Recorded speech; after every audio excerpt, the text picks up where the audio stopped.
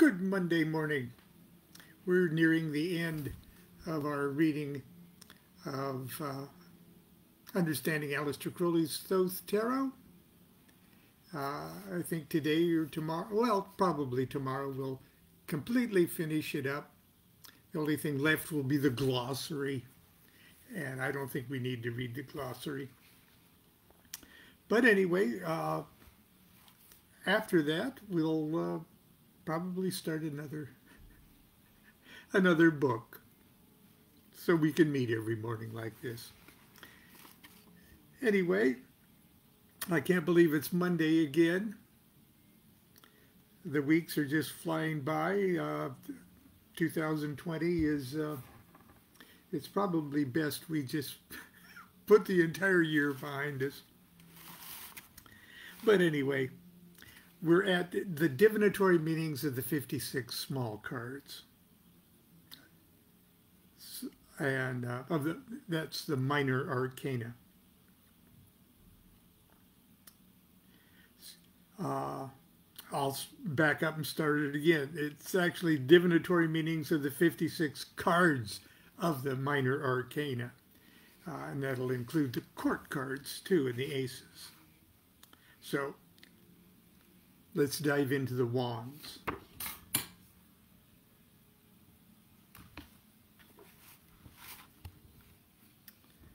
Ace of Wands. It symbolizes force, strength, rush, vigor, energy, and it governs, according to its nature, the various works and questions. It implies natural as opposed to invoked force. Now, just to remind you, these are all uh, uh, quotes taken from Crowley's own own works on the subject. This isn't uh, Duquette digressions. But I'll go ahead and stick one in right now. The aces, just to remind us that the aces and the princesses uh, also rule quadrants of space. Uh, above the, the North Pole. So the ace, along with the Princess of Wands, uh, rules the uh, quarter of the globe uh, that's roughly Asia. The Knight of Wands. Now remember, in, in old standard decks, what the Thoth Tarot calls the Knight of Wands is sometimes all called the King of Wands. But in the Thoth deck, it's the Knight of Wands. The Knight of Wands, he is active, generous, fierce, sudden impetus. If ill-dignified, he is evil-minded, cruel, bigoted, brutal. Queen of Wands. Adaptability, steady force applied to an object steady rule, great attractive power, power of command, yet like notwithstanding, yet liked notwithstanding. So she's got great attractive power of command, yet she's liked notwithstanding. Kind and generous when not opposed, if ill dignified, obstinate, revengeful, domineering, tyrannical, and apt to turn against another without a cause. Are you a Queen of Wands? Prince of Wands. Swift, strong, hasty, rather violent, yet just and generous, noble, and scorning meanness. If ill-dignified, cruel, intolerant, prejudiced, and ill-natured. Princess of Wands.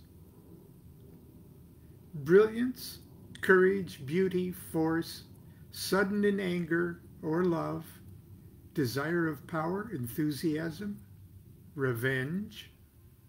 If ill-dignified, she is superficial, theatrical, cruel, unstable, domineering.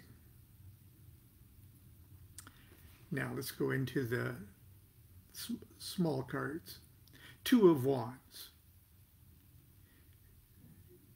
Influence over others, authority, power, dominion.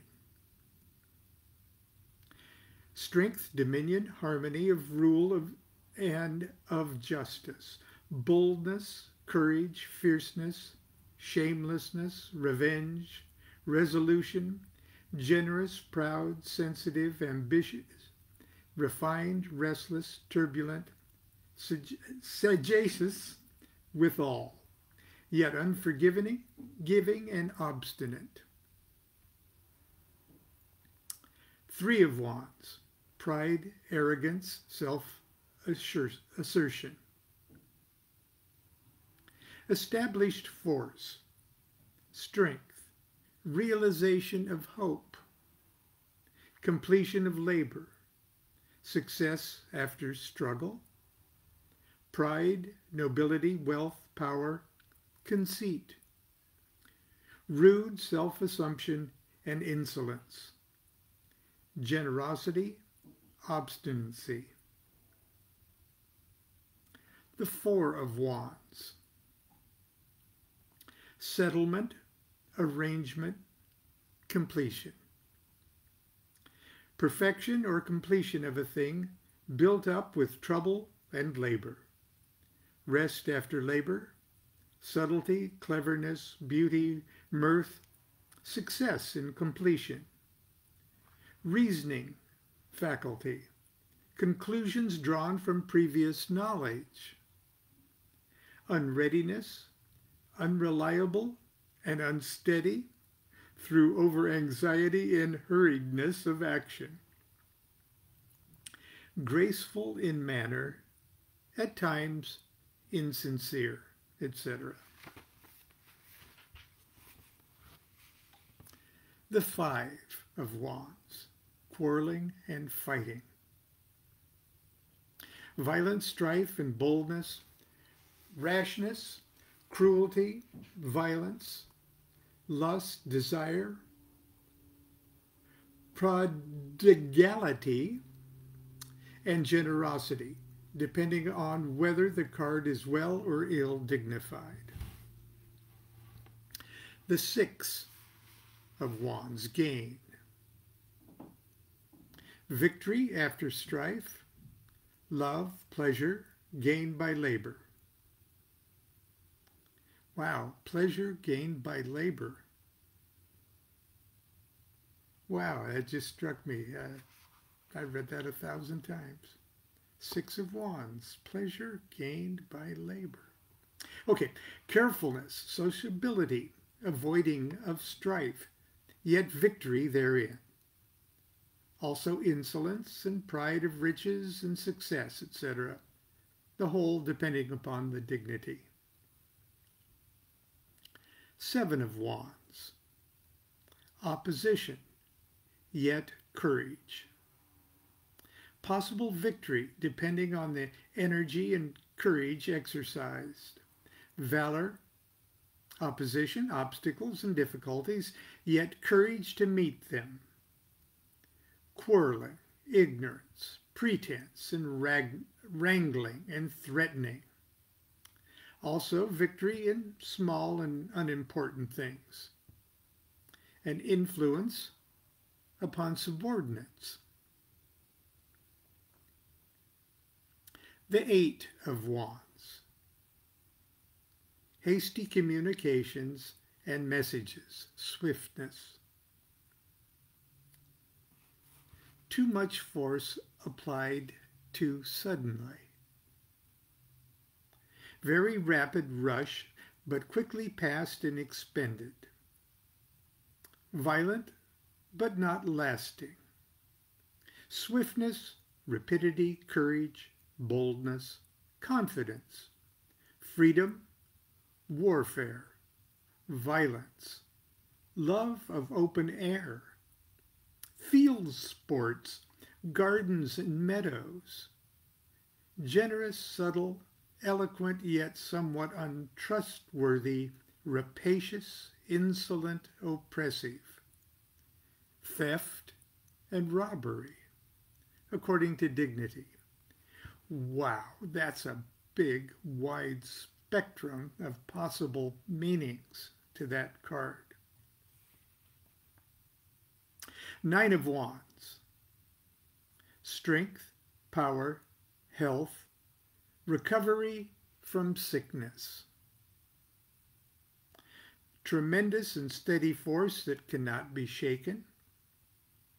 Herculean strength, yet sometimes scientifically applied. Great success, but with strife and energy. Victory preceded by apprehension and fear. Health good, and recovery not in doubt. Generous questioning and curious. Fond of external appearances, intractable, obstinate. Ten of Wands. Cruelty, malice, revenge, injustice.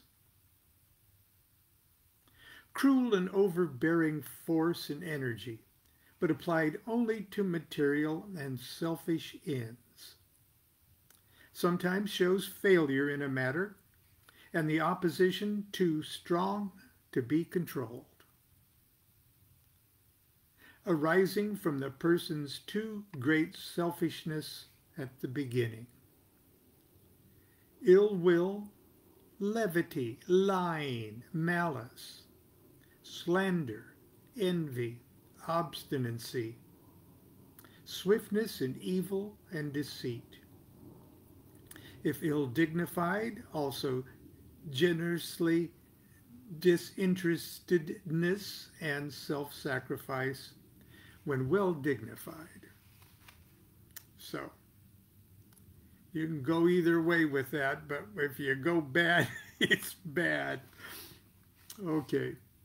Uh, let's go through the cups. Ace of Cups, remember, and the Ace of Cups, along with the Princess of Cups, generally rules the area of the Pacific. That's, that's Lon. That's Lon's digression there. Back to Crowley. Ace of Cups, it symbolizes fertility, productiveness, beauty, pleasure, happiness, etc. If you're a Knight of Cups, graceful, poetic, Venusian, indolent but enthusiastic if roused, ill-dignified, he is sensual, sensual, idle, and untruthful. Queen of Cups, she is imaginative, poetic, kind, yet not unwilling to take much trouble for another. Coquettish, good-natured, and underneath a dreamy appearance. Imagination stronger than feeling. Very much affected by other influences and therefore more dependent upon the dignity than most symbols. Prince of Cups. My father was a Prince of Cups. He is subtle, violent, crafty, and artistic. A fierce nature with a calm exterior. Powerful for good or evil, but more attracted by the evil if allied with apparent power or wisdom. If ill-dignified, he is intensely evil and merciless. I have to say, as a character description, um, if my father had these, he he did a really good job of overcoming them in life. Princess of Cups, sweetness, poetry, gentleness, and kindness. Imaginative, dreamy, at times indolent, yet courageous if roused. When ill-dignified, she's selfish and luxurious. Now the small cards, the Two of Cups. Marriage, love, pleasure. Harmony of masculine and feminine united. Harmony, pleasure, mirth, subtlety, but if ill-dignified, folly, dissipation, waste, and silly actions. Three of Cups. Plenty, hospitality, eating and drinking, pleasure, dancing, new clothes, merriment, abundance, plenty, success, pleasure, sensuality, passive success, good luck and fortune, love, gladness, kindness, liberality. That's my birthday card. Four of Cups. Receiving pleasure or kindness from others, but some discomfort therewith success or pleasure approaching their end. A stationary period in happiness which may or may not continue. It does not mean love and marriage so much as the previous symbol. It's too passive a symbol to represent perfectly completed happiness. Swiftness, hunting and pursuing acquisition by contention. Injustice, sometimes. Some drawbacks to pleasure is implied. Five of Cups. Disappointment in love, marriage broken off. Unkindness of a friend, loss of friendship. Death or end of pleasure. Disappointment, sorrow, and loss in those things from which pleasure is expected. Sadness, treachery, deceit, ill will, de uh, detraction, clarity and kindness, ill requited, all kinds of anxieties and troubles from unsuspected uh, suspected and unexpected sources. Wow. Crowley also mentions somewhere, I can't really put my uh, finger on it at, at the moment, but uh, Five of Cups really uh, uh indicates worry, but uh, uh, or, or, his comment on, on worry itself is if worry is indicated, it doesn't always mean that there is actually something something something to be worried about. Okay, but uh, that's grasping at straws here. Six of Cups. Beginning of a wish, happiness, success, or enjoyment. And, uh, okay, commencements of steady increase, gain and pleasure, but commencement only. Also, affront, detection, knowledge, and in some instances, contention and strife arising from unwarranted self-assertion and vanity. Sometimes thankless and presumptuous, sometimes amiable and patient, according to the dig dignity as usual. Seven of Cups. Debauch lying, promises unfulfilled, illusion, deception, error, slight success at outset not retained. Possible victory, but neutralized by the supineness of the person. Illusionary success, deception in the moment of apparent victory. Lying, error, promise unfulfilled, drunkenness, wrath, vanity, lust, fornication, violence against women, self-dissipation, deception in love and friendship, often success gained but not followed up, modified as usual by dignity the Eight of Cups. success abandoned, decline of interest. Temporary success, but without further results. Thing thrown aside as soon as gained, not lasting even in the matter at hand. Indolence in success, journeying from place to place, misery and repining without cause, seeking after riches and instability. Nine of Cups. The best freaking tarot card in the freaking deck.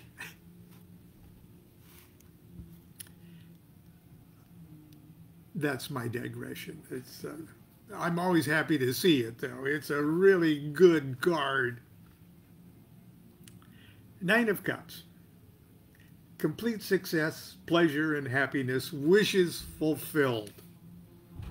Complete and perfect realization of pleasure and happiness, almost perfect self-praise, vanity, conceit, much talking of self, yet kind and lovable, and may be self-denying therewith.